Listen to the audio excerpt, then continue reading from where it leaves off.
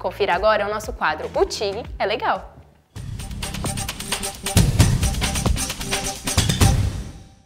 Pensando no conforto e bem-estar do trabalhador, os alunos do curso de Design de Moda recriaram uniformes para servidores da prefeitura. Qual foi a proposta do trabalho de vocês?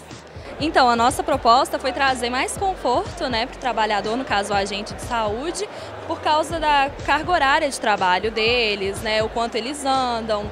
Então, assim, nós queríamos quando criamos a roupa, nós queríamos proporcionar mais conforto. Nós fizemos entrevista com os agentes de saúde, né, tanto homem quanto mulher, vendo o que eles queriam, o que eles tinham a reclamar com os próprios uniformes, né, qual o que eles imaginavam, né, que poderiam ser. E aí ouvindo essas pessoas, nós chegamos à conclusão, né, do que nós poderíamos mudar, qual transformação, qual redesign que nós poderíamos fazer. Foi muito bom, porque nós vimos como é criar todo esse conceito, né, como é ver a peça peça final e nós chegamos à conclusão de que realmente ficou do jeito que nós queríamos. Emanuele, qual foi a proposta do trabalho de vocês? Então, a nossa proposta foi fazer um redesign do uniforme que já existia. A Sudecap hoje é um órgão que ela não possui um engenheiro responsável por isso, então foi uma grande responsabilidade para a gente porque pode ser uma coisa bem, bem inovada.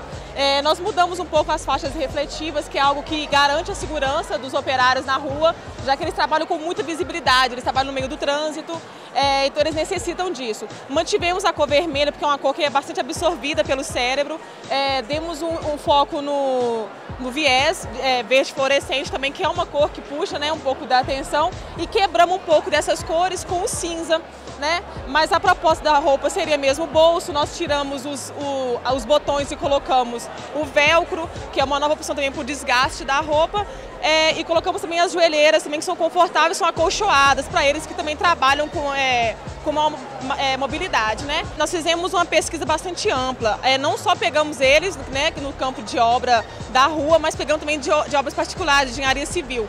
É, pegamos um pouco de tudo que acontece nesse mundo é, de, de, manutenção, de obra mesmo.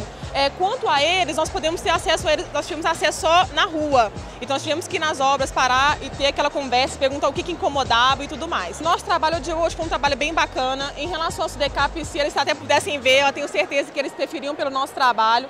É um trabalho bem visível, dá uma visibilidade bacana até mesmo para os trabalhadores. O uniforme deles não é inovado há mais de 10 anos, então é uma nova possibilidade e é uma possibilidade inovadora para eles. Foi proposto a cada aluno desenvolver um look conceitual influenciado no subtema, o subtema do meu grupo foi o Sudecap.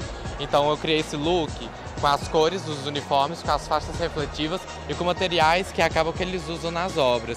Então quis desenvolver uma coisa que ia chamar bastante atenção, que é o que mais prevalece neles, é ser destacado onde eles estão. A gente fez uma pesquisa né, para descobrir as cores, o que é mais importante para eles é sacar mesmo na, nas suas, nos lugares. Então foi assim que a gente foi fazendo, a gente foi desenhando e, e a partir do desenho que a gente não pode ter uma, não pode vir com uma ideia formada, né? Tem que ir desenvolvendo. Aí acabou que no final foi, ficou esse projeto. Foi um desafio, né, na minha vida, porque a gente eu não esperava ter no papel e colocar né, pessoalmente na passarela, então foi um grande desafio. Eu acho que fez bastante sucesso. Eu quis trazer também, é, dentro do tema, as cores né, da Sudecap, onde que eu inovei o laço, que eu acho que é o charme que a mulher tem hoje, que a mulher também é feminina, né?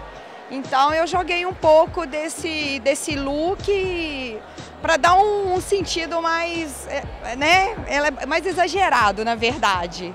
Tá? Pensando na saúde e na necessidade de quem precisa, as alunas do curso de administração propuseram um buffet diferenciado para o mercado. Nós fizemos uma pesquisa mercadológica e nós verificamos que não existe em BH nenhum tipo de buffet exclusivo para diabéticos, né? Porque normalmente às vezes os pais, as mães, adultos vão em festas e simplesmente ficam sem comer nada e tal.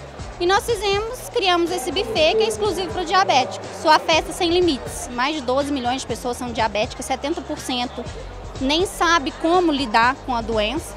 Né? Então, de acordo com, com, com pesquisa mesmo que a gente conseguiu os dados. Nós conseguimos colocar em prática as matérias né, do quinto módulo de administração e a gente conseguiu englobar todas as matérias e gestão de produção também no TIG conseguimos colocar tudo em prática. Infelizmente, o nosso programa fica por aqui. Mas semana que vem eu vou ficar esperando por você, hein? Até lá, tchau!